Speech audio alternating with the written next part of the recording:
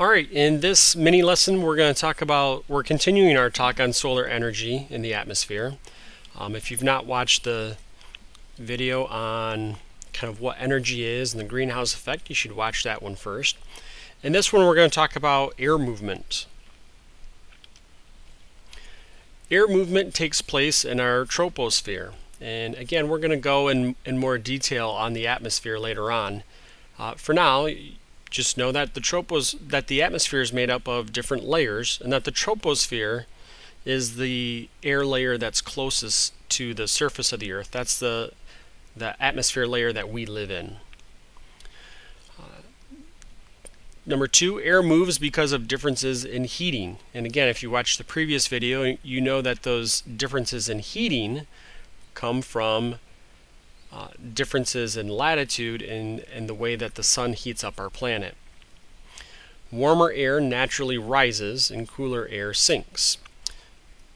The differences create what are called convection currents and winds. So again, winds come from those differences in heating uh, that then result in warmer air rising and cooler air sinking. Got a diagram coming up here. Take a look at that. Yep uh, convection currents and winds. And again, we've studied convection cells in, in other units, talking about the interior of the Earth having convection currents. In this unit, we're talking about convection currents in the air. Uh, here we see, on the left, we have cooler, denser air that wants to sink.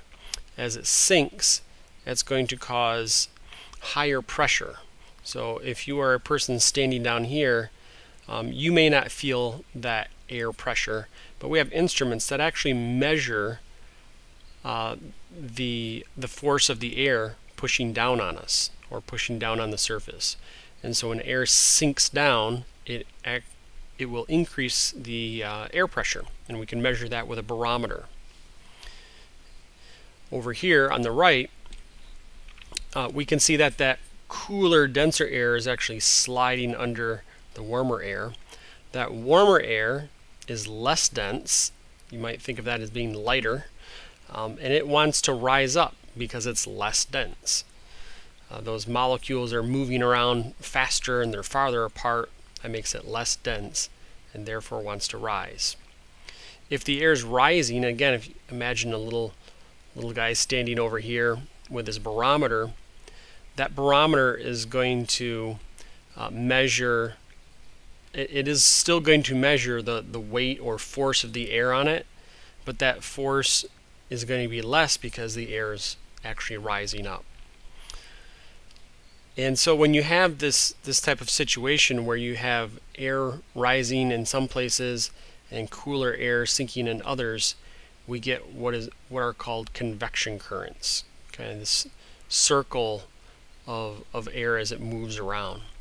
You can actually um, experience convection currents in our room or um, in, in most rooms, especially during the winter, um, this time of year, as I'm recording this, uh, you'll feel that um, that different parts of the room, how the um, ceiling is much warmer than, than the floor, and, and so on. You can actually feel those those currents.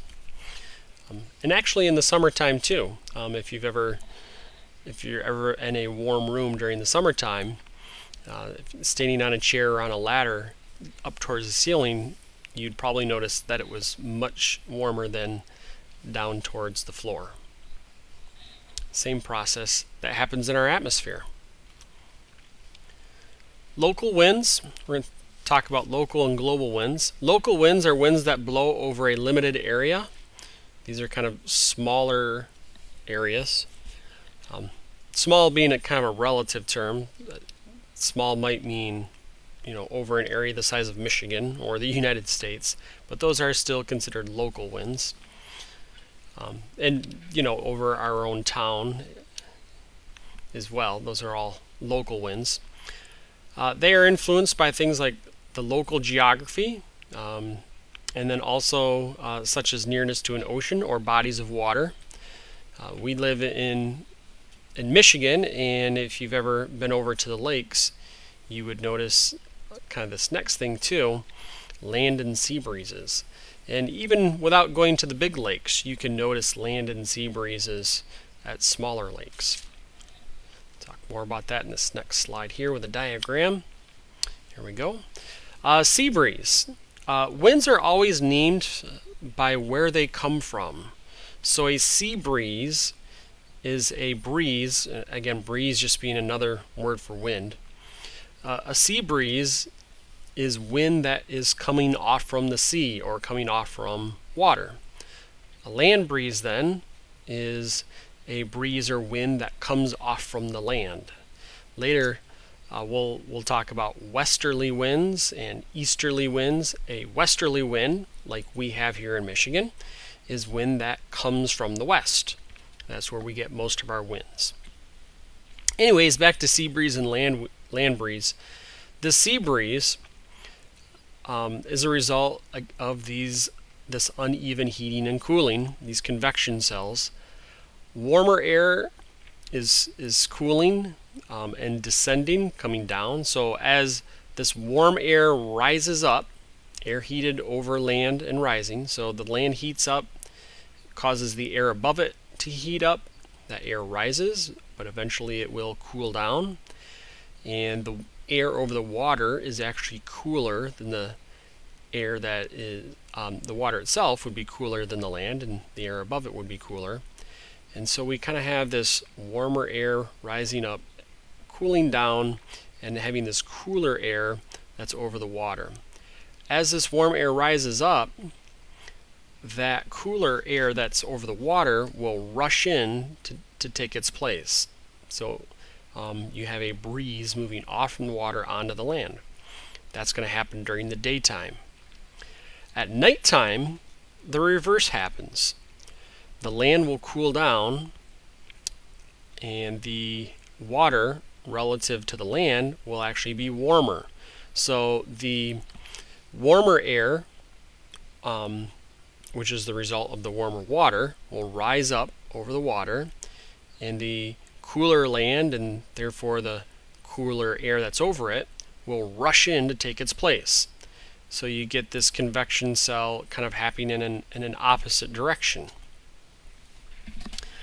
Um, as, as a kid, um, growing up around the lake and spending a lot of time camping around um, local lakes here in Osceola County, uh, we actually you know experienced these land and sea breezes. Didn't really know the science behind it as a kid, um, but we always we always noticed that the water was you know cooler than the land usually um, pretty much always you go into the water it was cooler than the land and you'd always feel that nice breeze if you're sitting on the shore during the daytime um, you could sit along the lake and feel that breeze coming off from the lake and then uh, right around uh, dinner time as the sun was starting to set things would get real calm and there wouldn't really be a wind going in either direction. And at that point, you, you kind of have a balance between the, the, the temperatures. And so we didn't have real hot air or real cool air over one or the other. They were about the same. And if the air temperature was about the same over both, then you wouldn't have a breeze. At nighttime, doing a lot of camping around that lake, you would actually you could actually notice the wind blowing back out onto the lake. And again, that was because the water at nighttime would be warmer than the, the land. And um, probably not the safest thing to do. We always stayed close to shore. Uh, but we would actually go swimming at nighttime because the, the water felt so warm when compared to that cooler air. Global winds. Global winds like the name implies, occur um, on a much larger scale than the local winds. So global winds, winds occur in belts around the globe. Got a diagram of that in the next slide. These are caused by unequal heating of Earth's surface.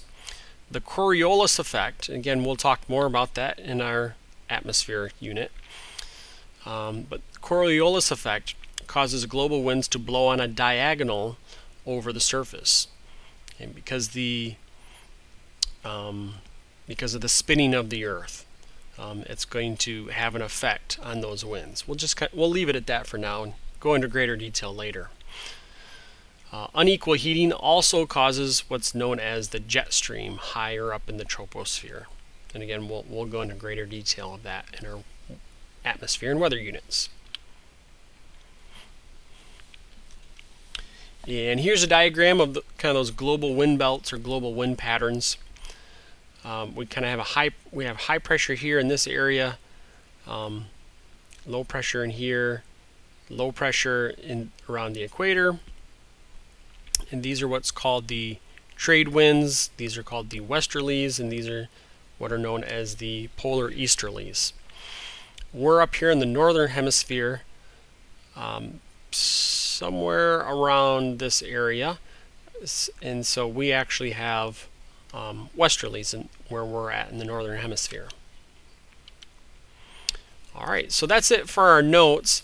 Um, and again, um, encourage you to watch that BrainPop wind animation and take a few notes. And uh, I'll stop the video at this point and we can actually watch that in class or you can watch that on your own.